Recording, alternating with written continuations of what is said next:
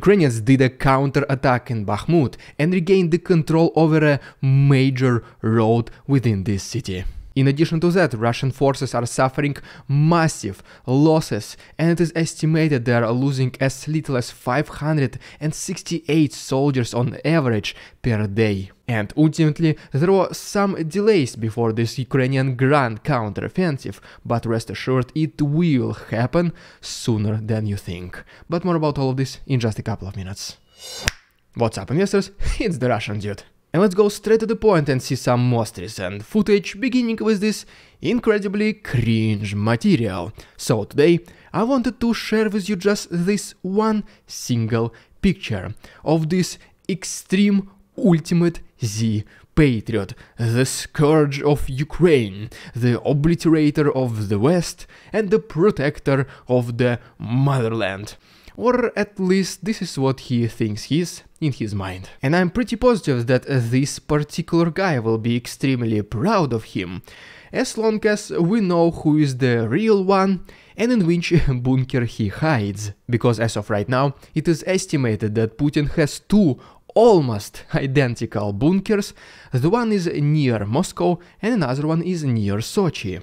But as you can see from this picture, there are some small details which allow us to assume that there are at least, once again, two of them.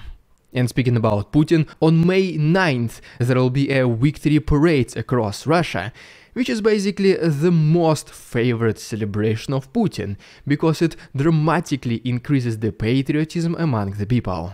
But well, this time the Red Square in Moscow will be closed for regular people from April 27th until May 10th. And I mean, isn't this supposed to be a people's holiday, not just Putin's and his inner circle holiday? And well, this kinda perfectly shows you how much closer Putin wants to be with his people, or in fact, how much he hates them. Putin is not the only Russian authority which lives in his uh, small separated uh, world, because another one, as you might have guessed, is Dmitry Medvedev, who recently one of his statements, he said that Russia had no other choice other to start this special military operation to prevent NATO from expanding. Once again, Russian authorities are juggling between two main objectives. The first one is stop NATO from expanding, and the second one is to clear Ukraine from Nazis. And they just use either of these narratives whenever it's more convenient. But besides uh, this statement, Dmitry Medvedev made another one. He once again threatened the world with the nuclear attack. And this time he said that the Western countries should not be like so relaxed because in case Russia wants, we will use nukes without hesitation. Do you think he is serious this time? If yes, Probably this is one of the very first times you are hearing Medvedev threatening the world with the nuclear attack, but if it's uh, a no for you, then can you please like this video and subscribe to my channel, because uh, let's see how many more ridiculous attempts to bluff he will make. You can also follow my Instagram, because we're getting very close to 4000 people in that community, so let's see if we can make it before the end of the week. Right now, let's briefly talk about the final preparations of Ukraine for this grand counter-offensive, and also why Russians brought one of their newest tanks to Ukraine, but they will not use it. That is a very interesting question. And after this, we'll talk about the most recent developments in the Ukrainian counterattack in the south of Ukraine. And so yes, first of all, America will stop buying Switchblade 300 drones for Ukraine, but instead they will start buying Switchblade 600 with the new updated range of approximately 50 kilometers and a much bigger warhead. Next we have these pictures somewhere from an undisclosed location in Ukraine which shows that Ukrainians are aligning their combat military machines waiting for this order to start advancing. And in the meantime, Ukrainians continue to practice using the Western military equipment, such as for example the American armored personnel carrier M2A2 Bradleys. But wait, there is more, because Ukrainians, besides just relying on the Western military equipment, they also developed their own. And as you can see from this video, they created this, I would call it a turret, which will be protecting uh, the front lines. And as always, the full versions of these videos of this western military equipment and machines will be available on my Patreon, along with some other uncensored footage. The link is down below and there is one week of free trial. Just a couple more words and then we'll talk about the South. And first of all, recently it has been mentioned that a general mobilization has been announced in Ukraine, but rest assured it's not a bad thing. This only means that Ukrainians are trying to get as many soldiers as possible to make the counteroffensive chances even more successful. I mean, it is totally different from the mobilization Russian style, where I would say 90% of conscripts are forced to go to Ukraine. And in addition to that, Russians have also some ridiculous cases of people going to the army. Such as, for example, there was this 50 year old guy who got called by scammers trying to get money out of him. And whenever this guy realized that these were basically the scammers, the scammers somehow got access to this government Gosuslugi web portal and registered him as a volunteer to go to Ukraine. And guess what? This 50 year old guy got summons to the military. But ridiculous stories from the Russian forces do not end here. And for example, recently, one of the newest model tank, T-14 Armata, was allegedly brought to Ukraine, somewhere from the region of Belgorod to the east of the country. But here is a huge but. This tank will not be used on the front lines, it will only be shooting somewhere away from these points of contact. So my question is, why would they want to do it? And the answer, I think it is pretty logical. Whenever this tank is going to be engaged in combat activities, the Russian propagandists will start filming it, producing videos, will be talking about this in our evening news, about the superiority of this tank over all the western analogs. And obviously, then this tank will be a hero during Victory Parade on May 9th. And now as promised, let's talk about some one of the most recent developments of this Ukrainian counteroffensive in the south, and then we'll talk about even more optimistic news from Bakhmut. And first of all, right here we have this video allegedly somewhere from Zaporozhye region, which just once again shows you the current conditions of the road and why the offensive is not yet possible. Then we have the reports by the Ukrainian intelligence, and these reports claim that Russians are trying to evacuate their infiltrators, collaborators, and other important military personnel from this point of contact in the Zaporozhye region, specifically from cities such as Enerhodar, Michura, Vodyane, and Kamenska-Dniprovska. In addition to that, Ukrainian civilians who right now live on temporarily occupied territory in Kherson are trying to evacuate themselves, and Russian authorities are making it extremely complicated. For example, there was a story of a man trying to text the city administration, headed by the Russian infiltrators, and asking to provide them with the bus because he has a family. And long story short, the response from the Russians was that at this very moment buses are unavailable. Thank you for attention. Thank you for your attention. Good luck. But on the other hand, from the actual Ukrainian authorities, they are asking the residents of Kherson to refrain from using aquatic vehicles, such as for example the boats, because Russians at this very moment are being extremely cautious, and if they see a boat for, I mean, crossing or trying to cross Dnipro river, they very well might assume that this must be Ukrainians, and they can open fire.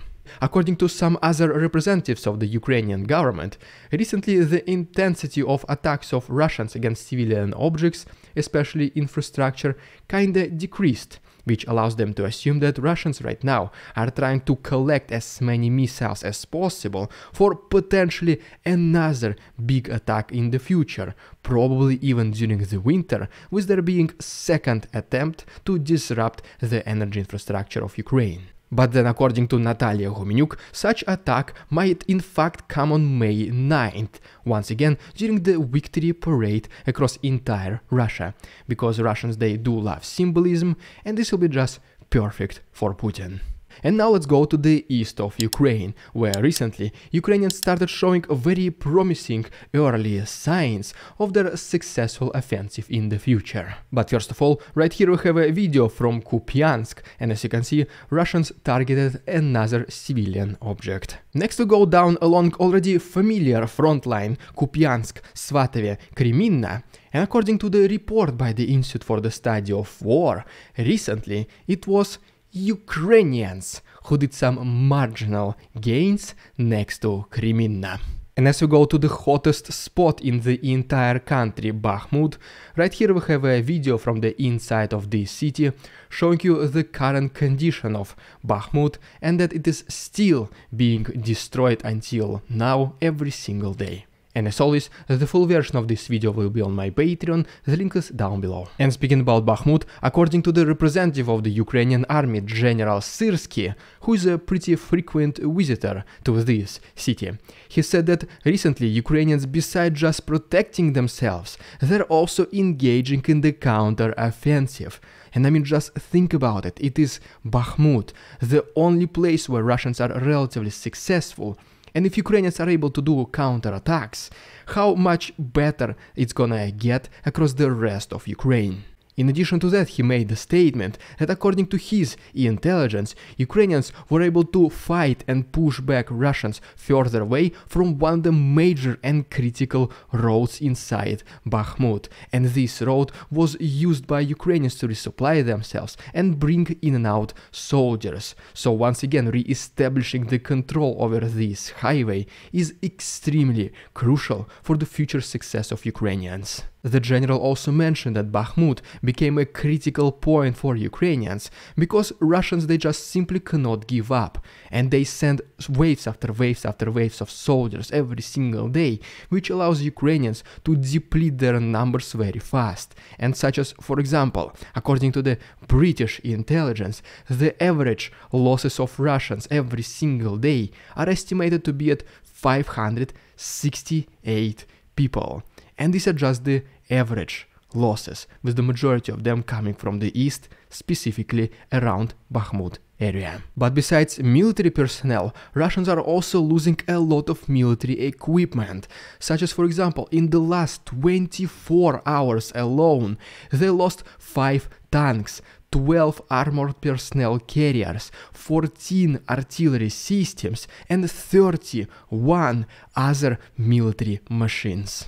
And just like I already mentioned previously, one of the main reasons why Ukrainians hold Bakhmut, it is because they're able to eliminate Russian soldiers at accelerated rate, but then also not to let Russians expand their invasion in the east, because as of right now, this city is some kind of a choking point. It is located a little bit higher geographically, it is surrounded by rivers, which basically means capturing Bakhmut potentially allows Russians to open another front lines which can expand all the way to Slavyansk and Kramatorsk, maybe even Lysychansk and Severodonetsk. And because this city is located geographically higher, surrounded by waters, and there are many multi-floor buildings inside this city, assaulting such point requires a high degree of military skill, which as you can already imagine, Russians do not possess at all. The logical question would be,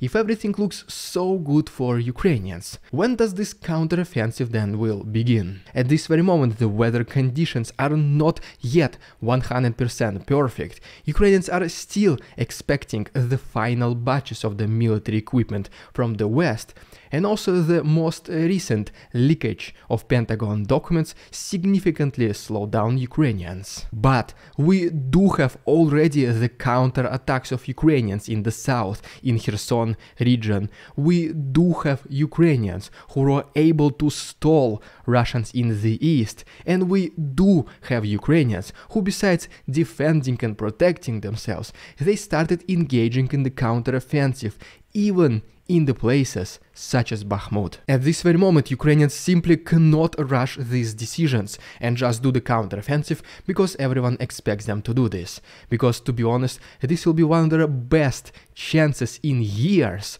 to end this war once and for all. And because of this, they have to be extremely careful. They have to be prepared 110% because in the very unlikely case if Ukrainians they fail, the West might see this as a weakness. The general narrative will be that Ukrainians were not able to achieve any significant progress, even though we gave them all these weapons and military support, so I mean, what's the point to continue doing this? They might even consider to push Ukrainian authorities to already talk with Russians, most likely not on the best terms for Ukraine, just for the sake to finally end this war. But to be honest, at this very moment this is the very last chance and hope for the Russian authorities at saving their faces.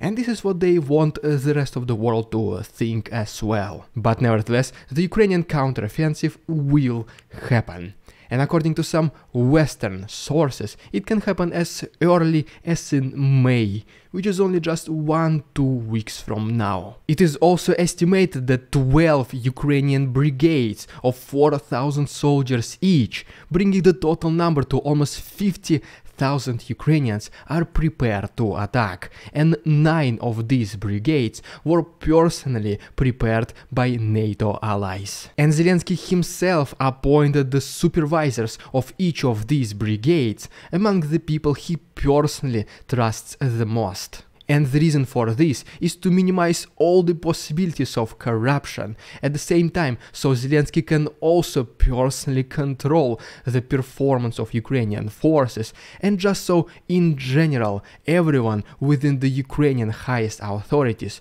will be working together towards a common goal. And to be honest, you do not see the same level of preparations from the Russian forces. All they kinda trying to do is to focus on Bakhmut, the city which they cannot take already in 9 months, even though the original goal was to destroy Kiev in three days. And taking into consideration that Ukrainians are already counterattacking in the south, we can expect that the total, ultimate, grand, liberating counteroffensive across entire Ukraine will begin pretty much any day now. And if you don't want to miss this as soon as it starts happening, just please consider subscribing to my channel, it only takes one click. The best way to support my work and unlock some exclusive content will be through my Patreon, you can also become my channel member and unlock exclusive channel badges and emojis, or just use a PayPal link. All different everything can be found at the right and down below. Thank you so much for your attention, Tavarchi, and see you tomorrow.